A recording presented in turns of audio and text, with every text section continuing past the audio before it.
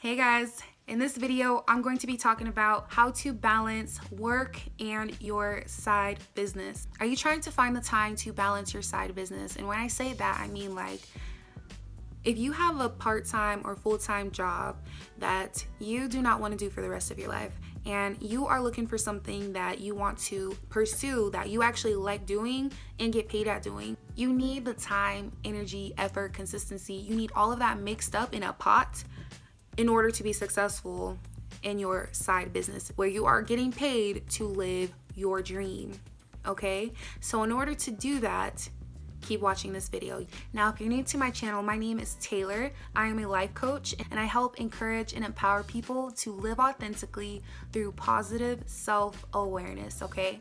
And also know that I do one-on-one -on -one coaching and if you would like a call with me, please go ahead and send me an email. That way you can schedule an appointment to see if we are a good fit. Look at how your schedule is right now. And when I say schedule, I mean when you wake up, before you go to work, after work, before you go to bed. So the first part is when you wake up. When you wake up, it could be personal hygiene, you get your coffee or your tea, maybe do some yoga, um, go to the gym, whatever that may look like for you as far as your morning routine goes. And then before you go to work, what do you do before you go to work? Are you rushing in the morning trying to make sure you get to work on time? You figure out what is going on in the morning so that way you can make that time. Not lose time, make that time, okay? And then during work, the reason why I say during work is because you have lunch. So if it's an hour, perfect. That first half an hour, you can eat your lunch. The second half of your lunch, you could spend that extra 30 minutes on your actual business, okay? And then if you have a 30 minute lunch, that's different. And it's really up to that person if they want to do like 15 minute lunch and then the other 15 on their business. It's really up to you. And are you able to make that time?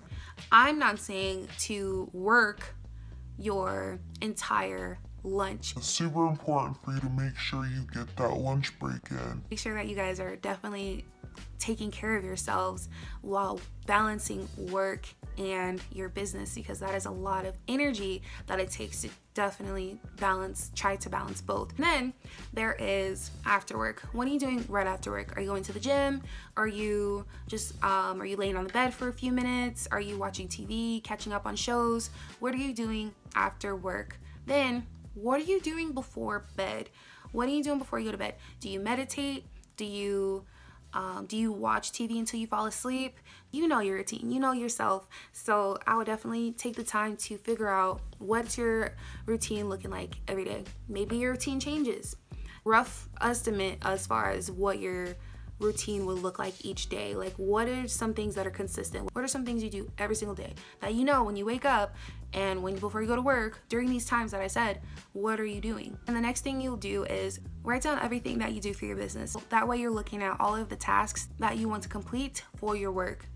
And with that being said, next to each thing, write down how long does it take to finish each task. Those times are very important to know when you are trying to figure out how long each thing is gonna take because you are trying to implement those times into the daily schedule that you already have. That is the whole purpose of this. So putting it together, once you have the list of the tasks that you do for your side business and also the times, you try to find a way to merge it into your daily routine already. So maybe some of the things that you have in your daily routine, you don't even want to do anymore. You know, maybe you feel like it's a waste of time. However that may look like for you. When it comes to time management, it takes baby steps in order to actually see results, okay? It may not necessarily happen overnight. Some things you may not be able to finish or may not have time for. You're trying to add something new to what you already are used to. You're bound to make mistakes, but you're also bound to grow and actually adapt to your new schedule. Personal experience though, what I want to share is time management was definitely one of my biggest things that I've been struggling with and setting time aside into my business instead of just kind of going with the flow through each day, trying to make time for my business whenever it's possible.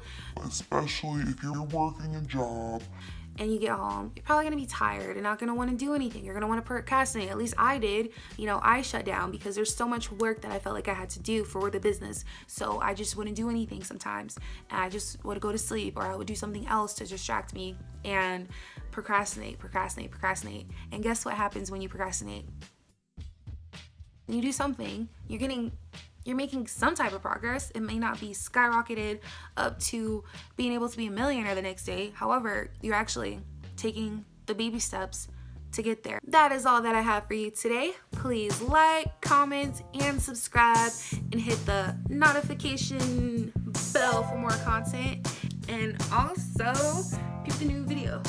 Video, peep the new video. Video, peep the new video.